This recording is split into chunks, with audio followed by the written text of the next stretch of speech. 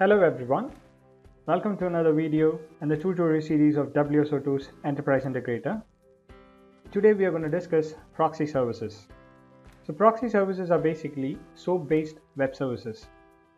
Though SOAP-based web services has lost its charm to REST and GraphQL APIs, we still have quite a huge number of organizations using the SOAP services. There are still quite a number of legacy systems that's supporting only SOAP based web services. So it is still relevant, right? So let's let's get started. I'm going to create a Maven multi-module project by right clicking on the project folder. So right click and select new and then click on other. Here you can just type Maven multi-module to select a Maven multi-module project. Just clicking on next and I'm going to leave the group ID as is and the artifact ID is going to be sample 8 and this is the normal um, there's a naming convention that I've been following for this tutorial series. So I'm just giving a name as sample 8 and click on finish.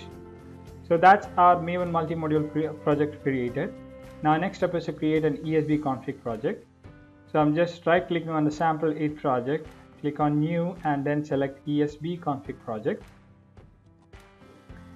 so that gives me a prompt to create a new uh, project. So click on new esb config project. That's that's a default option selected. Click on next and give it a name. So i'm going to give sample proxy as the name of my proxy service. Click on next. And here i have to link my esb project to the parent project. So from the drop down i'm selecting sample 8 which is going to be the parent project for our sample proxy clicking on finish. So that's the basic skeleton of our ESB config project.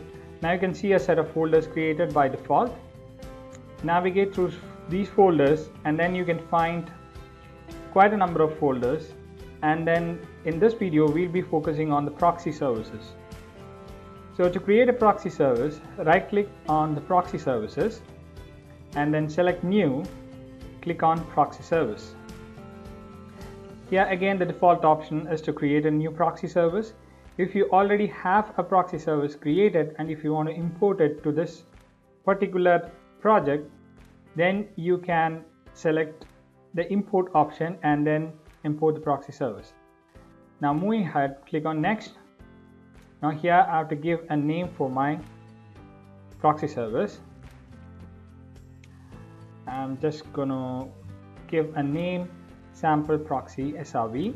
Now under the service type, yep, you have a number of options. It's actually a drop down and you can find a number of options here. So here custom proxy is the default one, which is flexible in the sense custom proxy just creates a, a proxy service skeleton and then, then it allows you to add whatever mediators you want. At the same time, all the remaining ones are meant for a purpose. Like for example, if it's a pass-through proxy, then it allows you to enter a backend URL and once you select the proxy, it has everything it is required to create a proxy service, which means what is remaining is you just need to deploy that, right? But here I'm going to go with custom proxy. Similarly, if you have or if you need to expose a WSDL based service, then you have the WSDL based option, WSDL based proxy option, and this gives you an option to import your WSDL and then proceed further. For the purpose of this demo, I'll go with custom proxy. So I have selected that. Now this transport here by default HTTP and HTTPS are selected. I will be using only HTTP, so I'm just unchecking the HTTPS option. Then click on finish and this creates your proxy service. Now this service is going to be a pure pass-through. Whenever it gets a request, it will echo that request or rather pass that request to a backend uh, SOAP service and the response it gets from the backend it will be passed on to the consumer.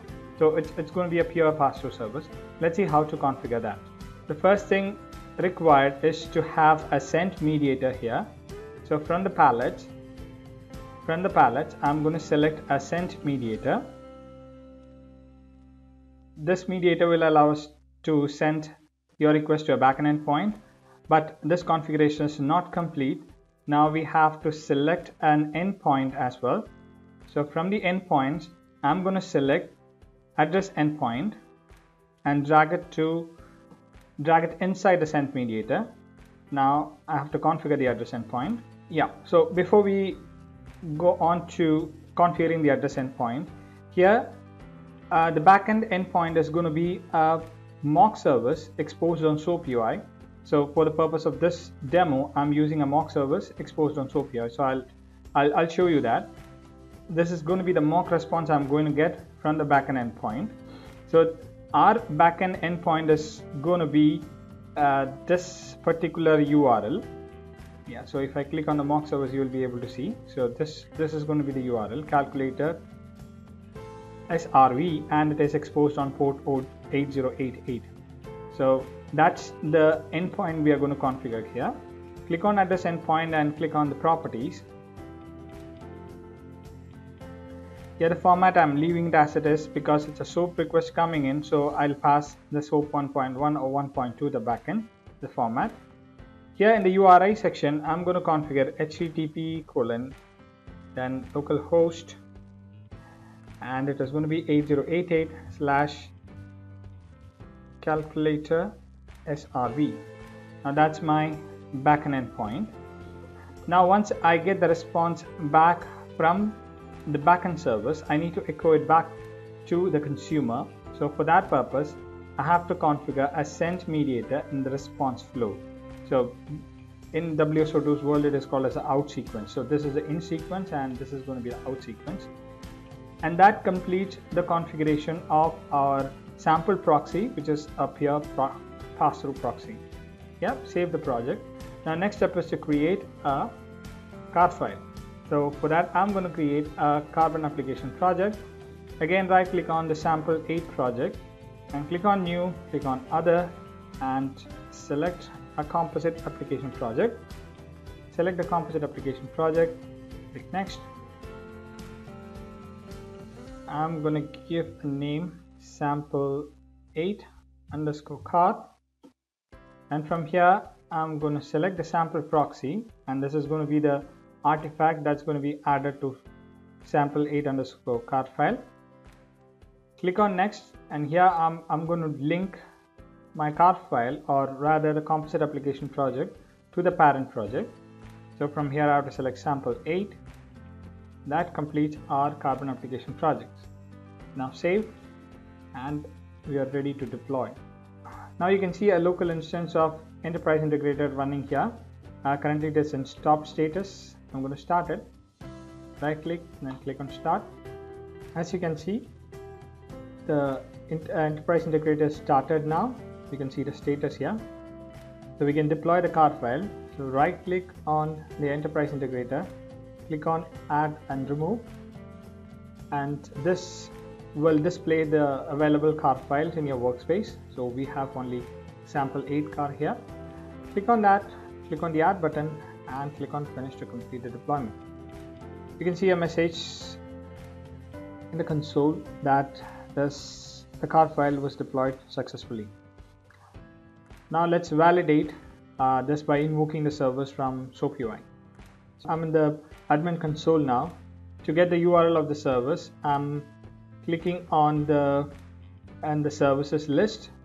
Yeah, this this is the sample proxy service that we have just uh, deployed click on that and this will give you uh, the URL of the service so that's the URL of the service now I'm going to copy this URL to SOAP UI yeah so this is going to be the URL I'm just replacing it with our URL and submit. See we have got the response. So that's proxy services in action.